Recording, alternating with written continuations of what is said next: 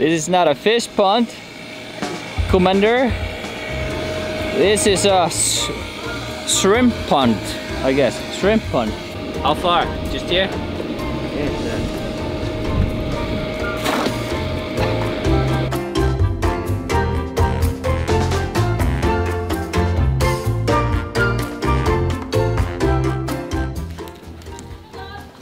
Jake,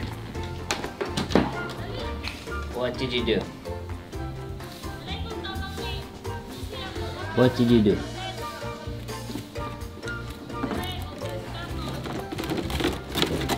What did you do?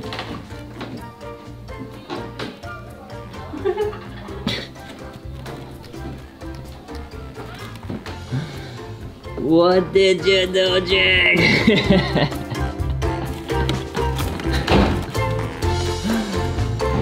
Jake, what did you do? Is that your guilty face? Is that your guilty face? You're hiding under there? Tapiapo. Alright, today is gonna be very relaxed one. We started off this morning. Usually wake up like 5 or 6 a.m. and then I just did a lot of editing. Morning! yeah, it's always good to uh, do some editing in the morning and then, oh my goodness, look at Blue Thunder guys. Is that what you get for Saint Tapiapo? Ooh. Anyways, we're gonna pick up Justin, Julia. We're gonna go check out one land, which is up in the a little bit above sea level, so it's gonna be a lot more affordable.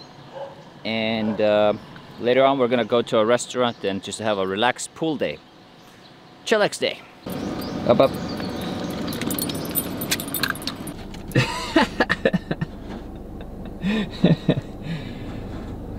okay, that's one way to do it.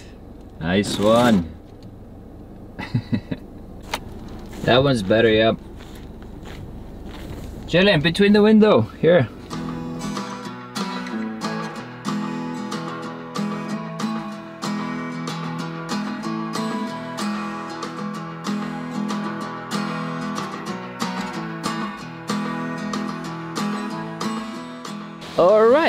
Here we are at the very large land, 3,200 square meter. Quite affordable. You can afford this one for sure. And it's absolutely massive. It's hard to tell from here. You can see there's uh, still a lot of vegetation here that would have to be cleaned up, of course. Make some uh, land, keep some of the trees, of course. And yeah, it basically goes from that tree there all the way to the end of the road over there. I don't know if you can see that. A lot of cocoa trees, palm trees, something to think about. And then again, there's some lands that I want to check out as well that are have a better view. So even if some of the bush should be chopped down, the next land I think is blocking the ocean. So it's all right, it's all right.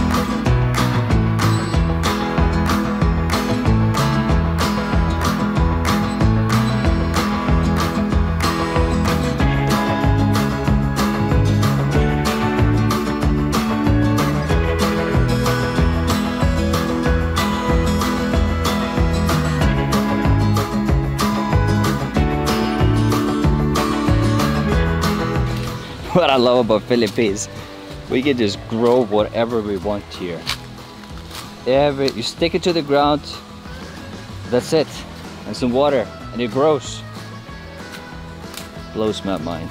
It's quite busy view, but like I said, you've got some bush in the background and you don't see the ocean. Nice breeze. Whew. Also should say of course that the location is it's really good. It's very close to Dauin, but getting here we had to go through a couple of uh, couple of lands and a dirt road, but it's a barangay road, so the way of right is all good, and it's you know we can build whatever we want here. But let's see if we can find something with a little bit better view. Like 3,200 square meters, is quite big and it's quite cheap but unfortunately the view is not that really that beautiful Yeah, that's what I said. uh, and uh, the road is cracky roady It's a bit tricky to get here, yeah but it's still it's barangay road, so the way of right is alright. yep Way of right yep is alright. Right. Made it to Liquid Dumaguete. Nice place. Big dining area. Pool. I think we're gonna jump in, have a pool day. Here's the beach. Wow. It's a bit rocky entrance. Have you dove here before? Yeah, when I when I used to work with these guys, I we dove a lot. It's hard to explain it guys, but uh, I get such a good feeling here in Down because there's so many cool restaurants, resorts, and they're all like in the same area. Sorry. Easy access to go to all of them and they all have their unique beach vibes, island vibes. So this one is uh, very different from the other one, but it's so fun to go between them, have lunch or whatever. Spend the uh, afternoon dip in the pool or something, you know. So good too. Should have a tree like this in the yeah, land. please. Ooh, nice. Did you change the password? It's really good. Nine Juliet. Why is yours so big? Because I'm special. Look at mine. Mine is so small. Because uh, they said more tasty. All right, so we skipped going to the pool because uh, we had to bring Jake back. He was being babysitter there at the uh, Liquid Dumaguete. So uh, we came to a very cool spot. This is not a fish pond, Commander. This is a shrimp pond, I guess. Shrimp pond. We're gonna get some uh, food today. Fresh as it gets. Good shit. You're the one who cut. I'll catch it, yeah. I'm an expert fisherman. All you have to do is catch two, and you're better than me. I've catch zero in mobile. I'm still at zero. Siya lang daw kuya. Sige ko bayad ha.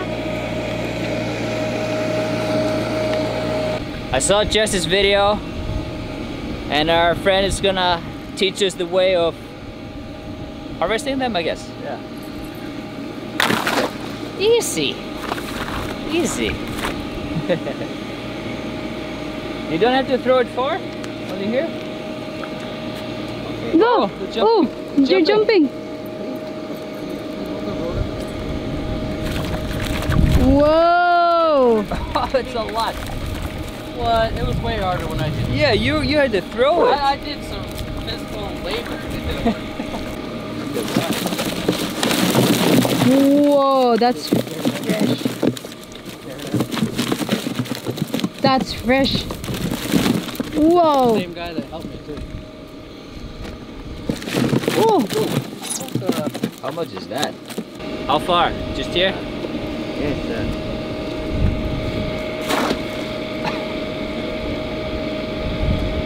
So so. so so. Oh, you got it. Dragon? Oh, it's heavy. They cut some next year then. We cut some. Oh, it's really heavy. You got a lot of bubbles. Only few though. Only few. Only bubbles. Only few. we Uy. got few though. try. We got few though. Ooh. There's only two ponds operational right now, and there's three more I can see that are, yeah, empty basically, and uh, that's of course due to COVID and tourism and all that. Two. Ay, Wow. baka may nakuha to. Naa. Drag it in. Ah, yung mawala. Diba kung gayo? Kaya ang pamaton ni Abug. That's a lot, uy. Hawa mo ko nakuha na. Yeah, you got two there. Oh, dagan kayo, uy.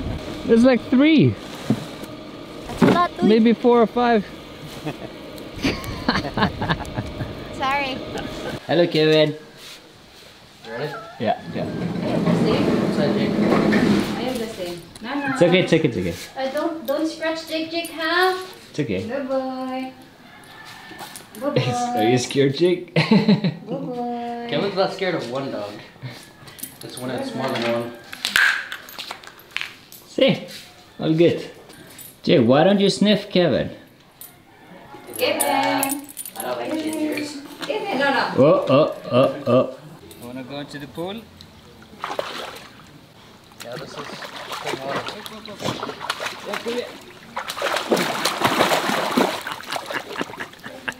Hey, what's this thing right up? Riley. It's okay, it's okay. Right, right. Ganda kuha ni Riley ay. Eh? They got a lot in common because all he cares about is food. Whoa, it's a big one. Yeah. Hey Come here, boy. Hey boys. Hey boy. Hey boy. Oh my gosh. Boys. How are you? Yeah, good boys. Come here. Yeah, good boy. Good. up here, up here.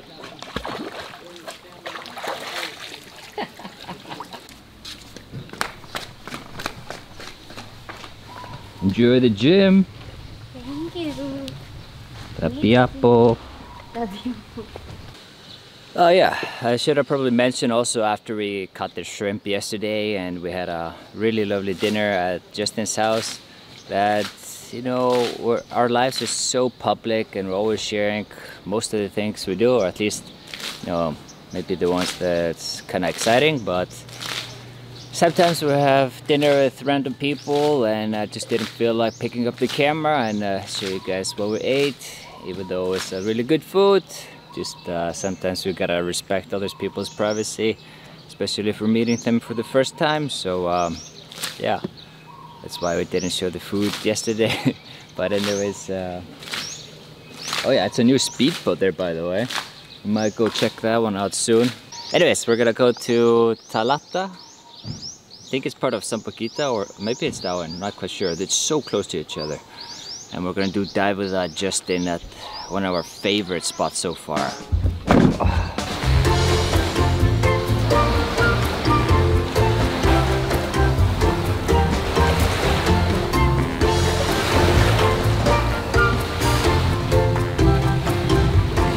We made it back to Thalata. No, this is Malatapay. I'm still getting hang with the words here. Come to uh, Justin's favorite current dive site. Alex is here with us, of course. What are we gonna see today, Alex? So we try to uh, look for the hairy frogfish. Ah, We hope, we hope. It's gonna be difficult. Yeah. Let's get in there. Found another local guy that saw a hairy yesterday, Yeah, so we're gonna pay him to come tag along with us. true. But this first one is perfect conditions, huh? Yeah, man, we got perfect. Remember, guys, we always had the wavy ones, but now it's getting so good.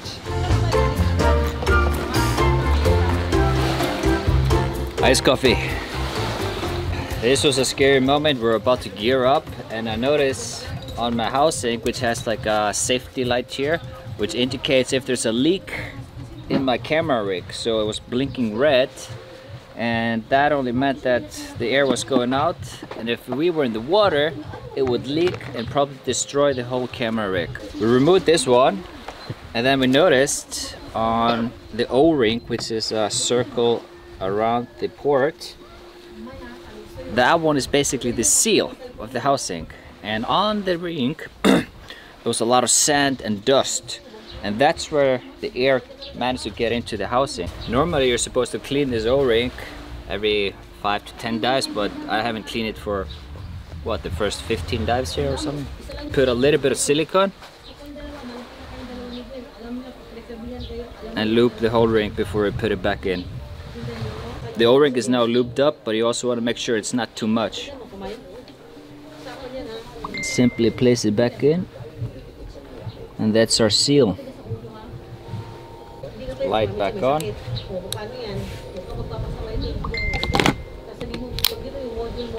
Now the only problem we have now is that I don't have my vacuum pump. So there's a manual way. Suck the air out. I've never seen that. You see it's already turning yellow and it has to become green. See? Green. Good to go. All right, now that you've sucked off your uh, camera, let's go dive.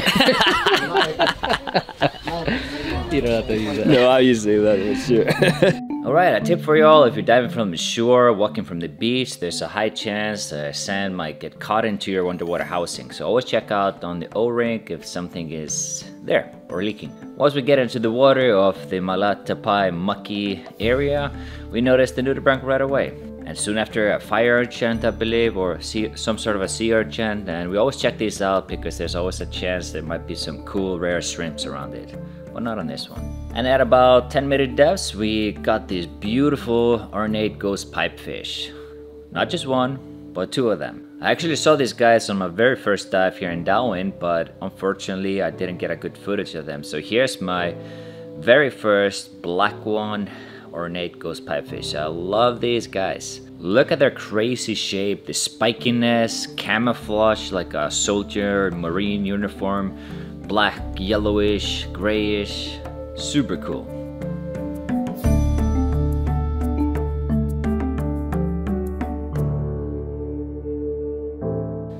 And a couple of meters away I saw this really cool looking shrimp that I've never seen before. It has a wonderful text pattern, moves in a funny way, and it likes to hide among the rubble or the artificial reef, and I thought I was lucky seeing one. However, there was tons of them.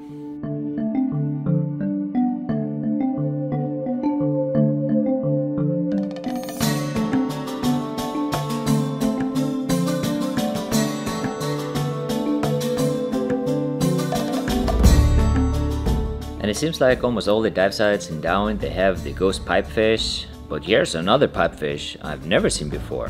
This is the snout ghost pipefish. You would think at first it's the robust one, the pure blank green one. However, if you look closer, he has these things stuck onto his body. Almost looks like some anemones or venomous things growing on him, I don't know. Kinda looks like the frogfish from the other day with things growing on him. Maybe he's getting old and grumpy, who knows. But once again, first one for me. And later on into the dive, Justin called me over and said, hey, come take a look at this. And here we have my first orangutan crab. And you can see why it gets the name orangutan, because it literally looks like the orangutan monkey. He even does these monkey movements. And he has the orange color. Furry, almost. Yet again, another first one for me. So you guys can kind of see the trend here on each and every single dive. We literally seen something for the first time every single dive. At least for me, for now.